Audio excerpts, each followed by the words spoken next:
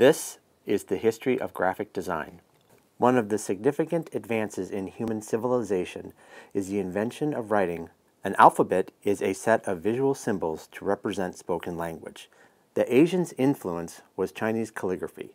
They also invented paper and the discovery of printing. Illuminated manuscripts were vibrant luminosity of gold leaf. Many came from Islamic countries and Europe with reproduction of religious books. With paper making its way to Europe by the Chinese, who also brought relief woodblock printing by the 1400s, the demands for book production led to movable typography and copperplate engraving. People started to read more with the help of the German illustrated book. As printing increased, Nuremberg becomes the printing center.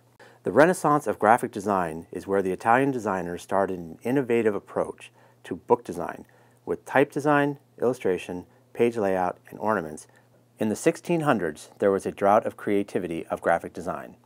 Graphic design had help from mathematical and scientific principle to develop the grid, which started the Rococo era. The Industrial Revolution gave graphic design a significant shift in the social and economic role of typographic communication. The wood type poster is the evolution in composition from the metal type, which led to more pictorial and colorful posters. The Industrial Revolution replaces handcraft work which led to the quality of book design and production to decline. Also in the arts and craft movement, which led to individual creativity and expression. Art Nouveau had been influenced by the communication and trade between Asia and Europe. Ukiyo-e, a Japanese art movement. Frank Lloyd Wright was an inspiration for the designers, evolving from curvilinear Art Nouveau towards a rectilinear approach to spatial organization.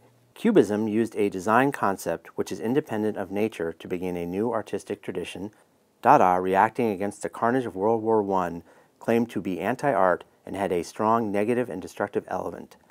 Pictorial modernism was influenced by Plakatstil and the flat color school. Posters were very important as a communication medium in the period of World War I.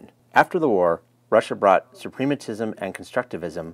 The creative art in Russia had a huge influence in the world. The De Stijl movement began in the Netherlands in 1917 and the artists of De Stijl worked in an abstract geometric style. The Bauhaus movement is where fine arts, architecture, and decorative crafts can be combined to build for the future and balance graphical images.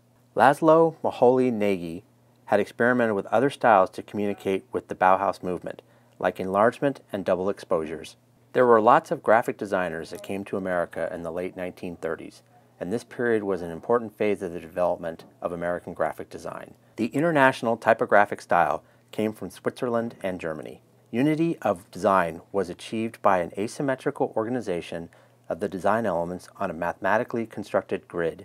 Paul Rand initiated the American approach to modern design, and he understood freely invented shapes would have a self-contained life as a visual communications tool.